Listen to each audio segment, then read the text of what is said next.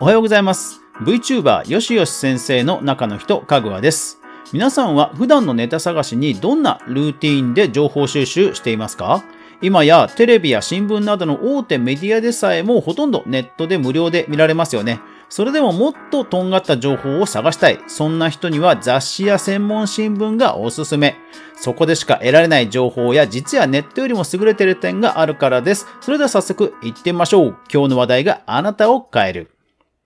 この番組はマーケターとして20年以上フリーランスで活動しています、かぐわがネットで好きなことで稼いでくクリエイターエコノミーについてゆるうりと語るラジオ番組です。Apple Podcast、Spotify、Amazon Music、Alexa、Google Nest、ラジオトーク、スタンド FM、Google Podcast、Instagram で好評配信中。ぜひお好みのアプリでいいね、登録、フォロー、そしてエピソードが良かったら応援拡散よろしくお願いします。土日含む毎朝7時に配信してますので、ぜひぜひ聞いてみてください。それでは早速行きましょう。そう、雑誌ね、おすすめなんですよ。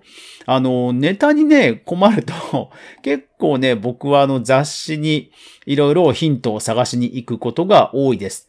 ただ、あの、定期購読をね、してるわけではないんですよ。なんかそこは、あの、業界の人には申し訳ないんですけど、あの、やっぱり、なんか、1ヶ月に1回だとほら、やっぱり遅いっていうのもあったりするじゃないですか。なので、ちょっとで、あの、毎月買ってるってほどではないんですが、まあ、困ったら探しに行くっていうことをよくやっています。で、雑誌と、あと専門新聞ね。うん。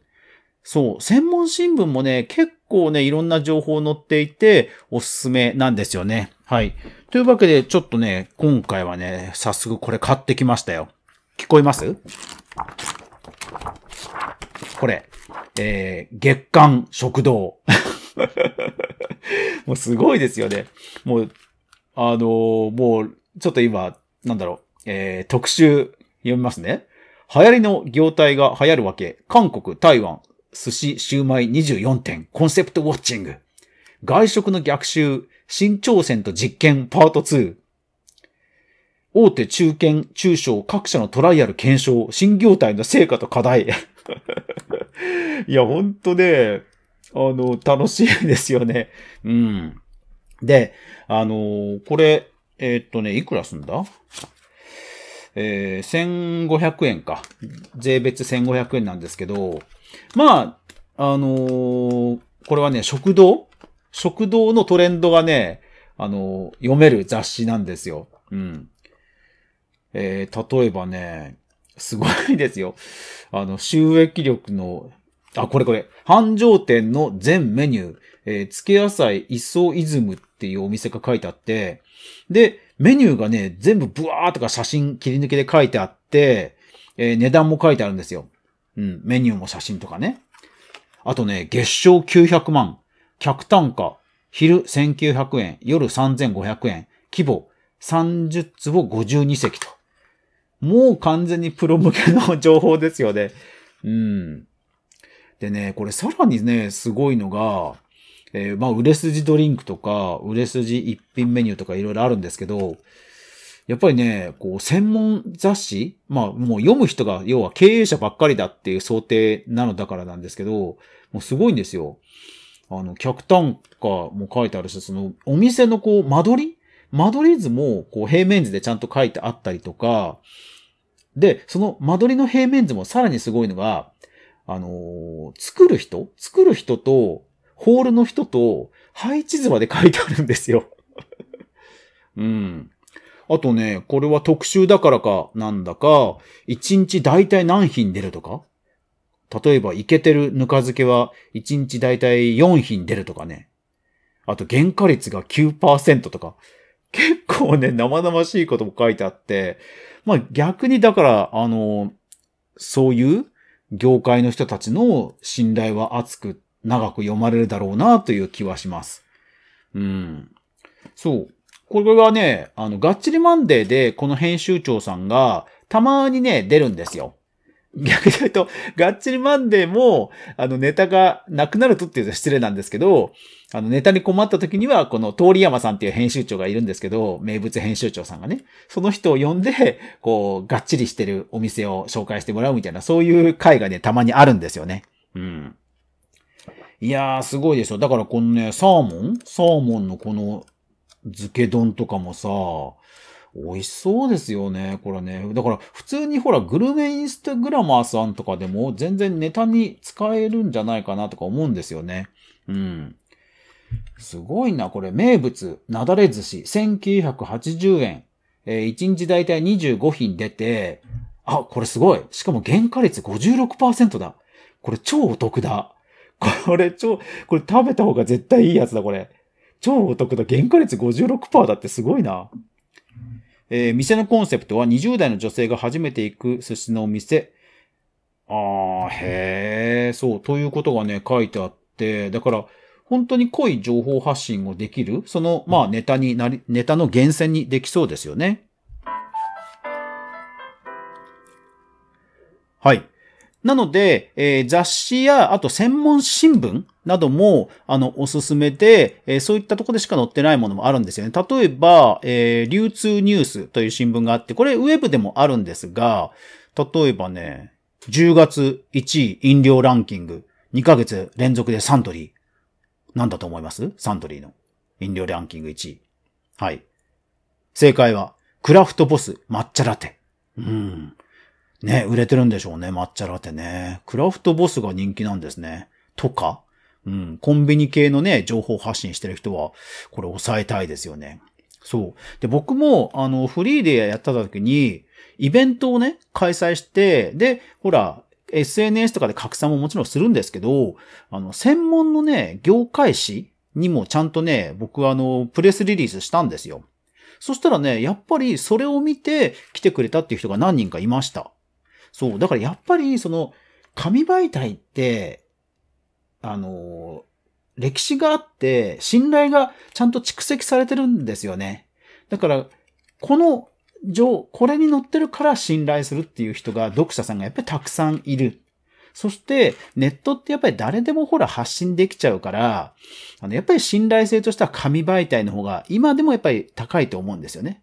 そういう媒体だからこそ、さっきの原価率みたいな、じゃあどこどこ編集長さんのためにちょっと明かしますよっていう、そういう信頼関係も含めて、含めたやっぱり情報源なんですよね。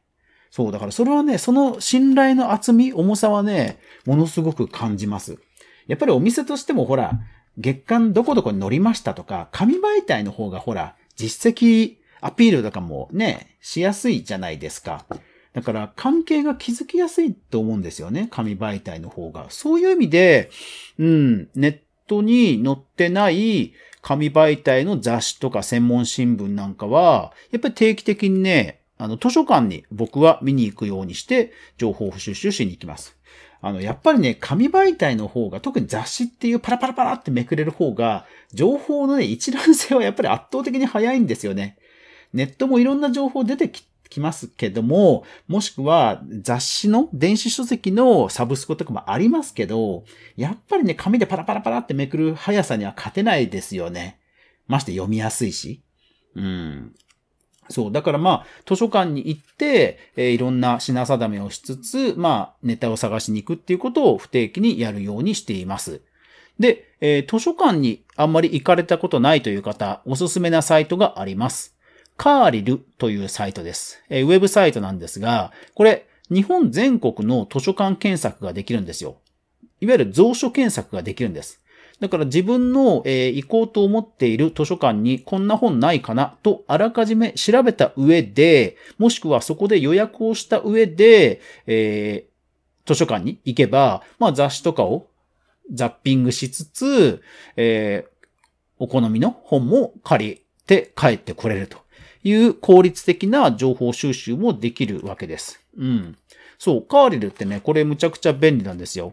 えー、試しに吉田義彦で検索すると、えー、僕の方は どこも蔵書がないんですけど、えー、一冊だけ、えー、蔵書がありますね。貸し出し中に関しては、えー、あ、どの図書館も貸し出し館になってますから、人気がないってことですね。はい。まあいいんです、いいんです。あの、古い本だからね。うん。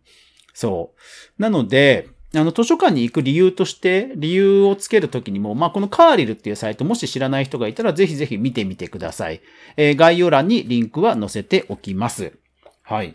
いやー、だからね、月間情報とかね、あと僕あの、パン、パンが好きなんで、パンの専門誌とか、うん、ほんとね、見てるとなんか あのときめきますよね。うん。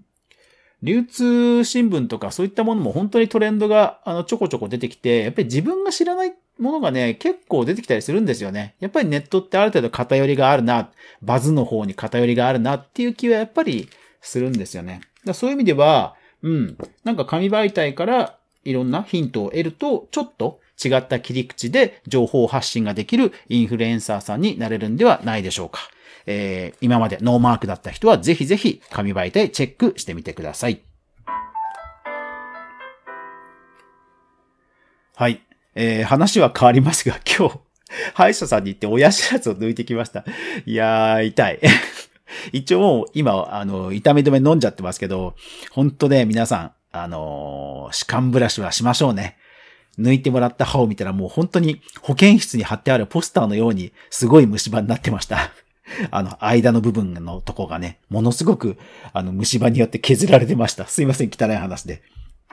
はい。というわけで皆さんも虫歯にはお気をつけください。まだでも親知らずはね、残り2本あるんでどうしようかなって感じですけどね。はい。